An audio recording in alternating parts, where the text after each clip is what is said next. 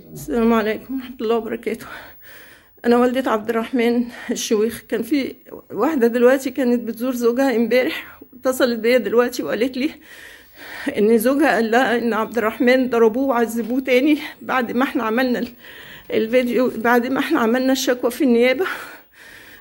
وقدمنا البلاغ هناك وحققوا معايا يوميها إن هم ضربوا عبد الرحمن جامد وعذبوه وودوه المستشفى أكتر من مرة. معنى كده ان هم ما بيودوش حد المستشفى بسهولة أصلا. فهم معنى كده ان هو متبهدل جامد.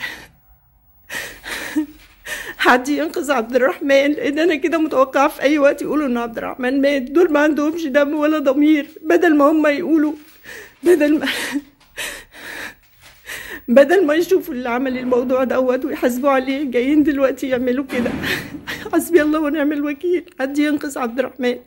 بتقول لي إن هم بيقولوا إن هو مريض نفسي وبيتعالج. إزاي بيتعالج وإزاي مريض نفسي وإزاي أنا أصلا ما بعرفش ادخله حتى البر...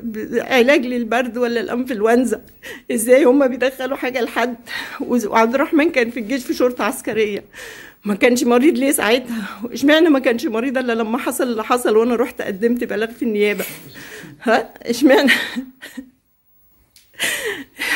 الضابط أصلا قال لي في الزيارة اللي فاتت إن عبد الرحمن سألني قبل ما أخش الزيارة بيقول لي هو عبد الرحمن مريض نفسي أو بيتعالج من حاجة؟ قلت له لا عمر عبد الرحمن ما كان مريض نفسي واسالوا الناس اللي معاه.